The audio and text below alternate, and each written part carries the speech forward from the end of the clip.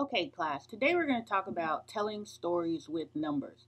Because one of the things that you're going to have to do in Social Work 300 is you're going to have to take numbers and translate that or put that into information that anyone can understand quite simply, even yourself. When you're reading tables, as we will with uh, census.gov, you need to read the tables very carefully the title will usually tell you exactly what is in the table. And when you create tables, APA style tables, or whatever, you need to make sure that your title is clear so people understand, people who read what you're writing about understand exactly what you're talking about.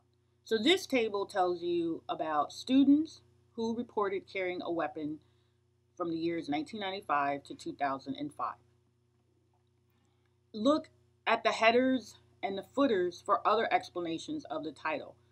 Just because the title tells you this is talking about data or survey information that was question that was collected uh, about students from students in grades 9 through 12 who reported carrying a weapon, um, you may need to get want to know a little bit more information. So if you read the headers and footers, it usually will give you uh, additional information. It makes the table a little more clear for you to understand. You need to also be willing to evaluate the source of your data. Is it reliable? Is it up to date? Census.gov, CDC, Centers for Disease Control. Government sites are typically uh, accurate. Um, when you start using other websites or other sources of information of your data, you need to really look at and evaluate is that information accurate? Study your columns. Remember, columns are like columns on a building, they go up and down, and rows go across. Study your column and row headings. What do they mean?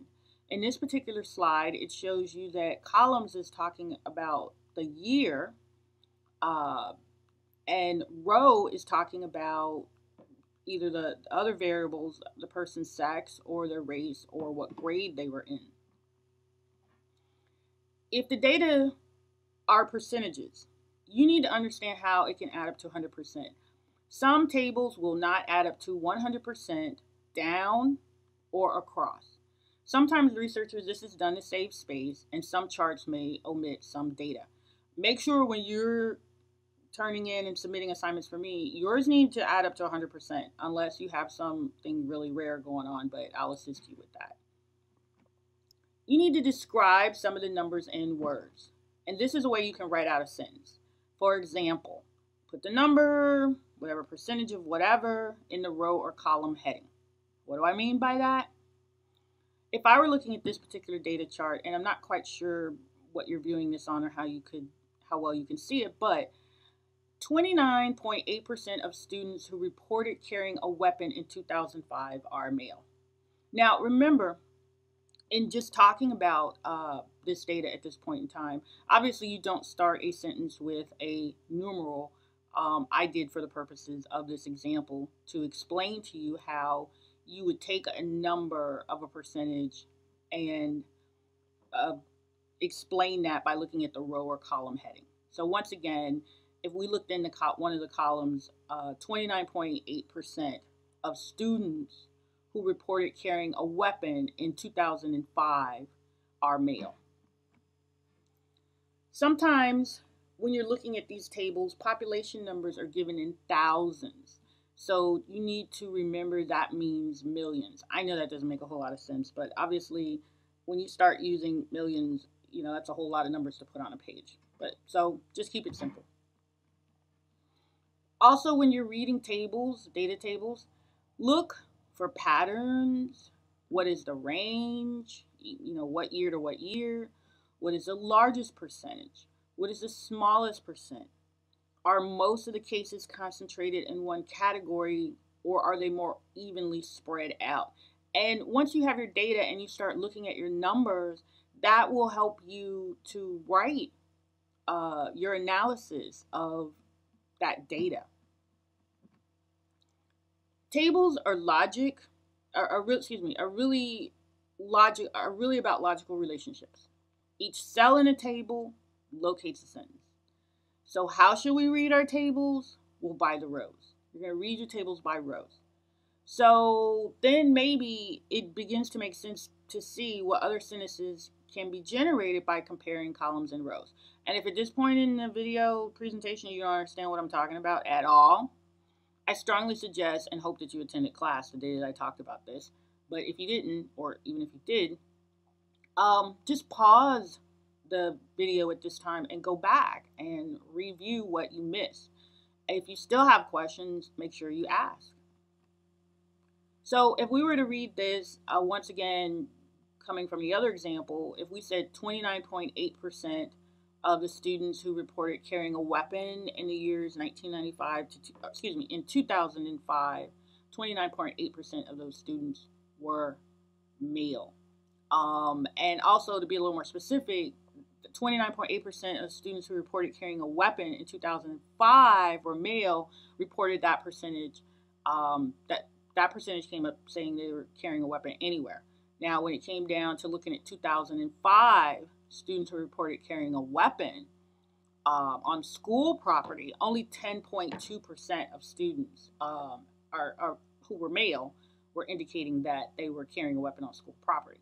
So you see there's some differences there, and you know that's subject to interpretation on how you explain why 29.8% uh, were carrying weapons anywhere, but only 10.5, 10.2% were carrying weapons on school property. But we'll discuss that in class, or you can ask me or email me, whatever works for you. Now, some rules for writing numbers, and I'm going to go through this rather quickly because I'm sure you're getting tired right about now. Um, but actually, if you are, why don't you just pause the video, um, go get a snack, and come sit down and come back. Okay, you're back. So, rules for writing with numbers. Um, one trick in writing a summary paragraph or abstract that I tell students, and this makes your life a whole lot easier, as well as mine. Um, a four sentence paragraph is, is acceptable for my class. Um, if you're doing data collection and you've written or worked on different sections of your, your paper, if you just pull one sentence from uh, each major part of your paper, paper, you would have a nice four sentence summary or abstract or, or a really nice paragraph that summarizes uh, what your report is all about. And remember, since I am asking, uh, I do require that students use APA style, um, you're going to need an abstract. So this is the easiest and simplest way to write it without um, hurting your brain. And a quick overview about numbers when you're writing them. Uh, write out numbers beginning sentences. 6% of the group fail, not 6% of the group fail. And you can see that in this example. Uh, use a combination of figures and words for your numbers, uh, and that'll help keep your writing clear. Um, if you read the two sentences here, um, you'll see that um, you know one sentence is more clear than the other. And in addition to having this video available for you, this video lecture available for you online, I also try to post this particular um, PowerPoint for those of you who are interested in um, reading it a little more up close and personal. Numbers should be in series and statistics. They should be consistent. Two apples, six oranges, and three bananas, not two apples, six oranges, and three bananas. You get the idea. Large or round numbers, um, you can do that. It's okay. $4 billion or $4 billion. Uh, here's also some rules. There's actually 16 of these rules for writing numbers. I'm going to go through them super briefly. But at the end of this slide, I've given you um, the link to this, these two particular websites where um, I obtained this information from. And you can certainly go, feel free to go to it and check it out for yourself. Spell out your single digit whole numbers. Be consistent within your categories. Always spell out simple fractions and use hyphens with them. One half of the pies or a two thirds majority is required for that bill to pass in Congress. Mixed fractions can be expressed in figures unless it is the first word of a sentence. The simplest way to express large numbers is best. Write decimals and figures.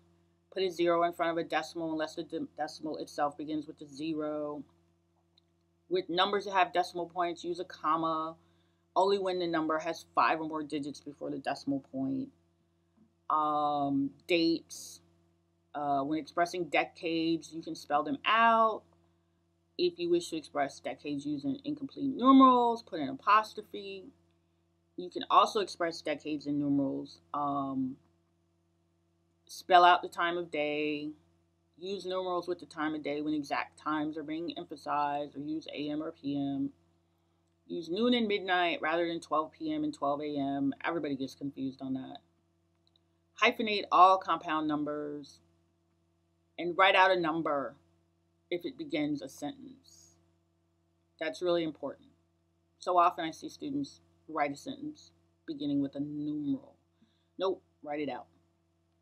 So these are my sources of information that you can feel free to utilize, download, put copies of this information in your notebook. Um, other than that, um, I've tried to keep this little video lecture as brief as I could, but this one was pretty long. Um, hope you enjoyed it. If you have questions, make sure and feel free to ask. Thanks for watching.